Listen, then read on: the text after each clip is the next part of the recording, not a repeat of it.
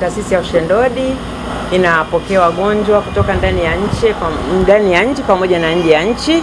Ni wagonjwa wetu wa saratani mbalimbali ambazo zinalazwa hapa na ni wagonjwa ambao wanahitaji sana mahitaji kutoka kwa ndugu, jamaa, vikundi mbalimbali kwa ajili ya mahitaji yao wanapokuwa wamelazwa hapo hospitali.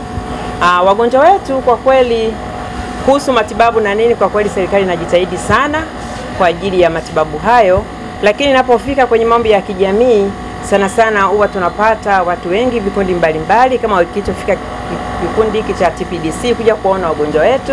Kwa hiyo tunashukuru sana kwa ajili ya misaada yao waliyoleta, na ninafikiri vitu vyote vinaonekana hapa walivyoleta hii siku ya leo.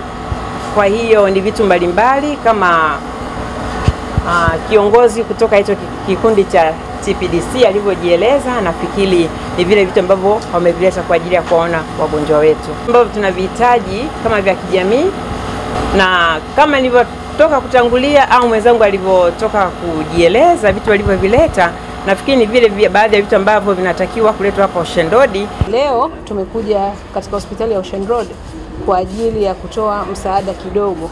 Msaada huu ni juhudi za wafanyakazi wenyewe kwa maana ya staff wamejichangisha na kuona kwamba tuje tukawaone tuka ndugu zetu.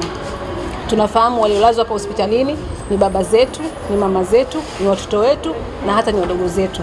Kwa hiyo sisi kama, kama, kama wafanyakazi tukijua kwamba hawa pia ni sehemu ya jamii, basi tumeona tuje tukawape pole, tuwajulie hali, lakini pia tukiwaombea kwa Mwenyezi Mungu wapate, wapate nafuu lakini pia wajue katika magonjwa au katika kuugua kwao, na sisi ndugu zao tuko pamoja na wao.